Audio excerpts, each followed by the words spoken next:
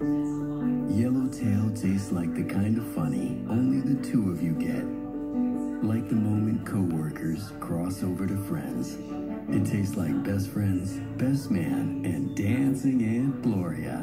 It tastes like this, like that, like the hug that makes up for three years apart. Like all the stars aligning for one magical night. Yellowtail wine tastes.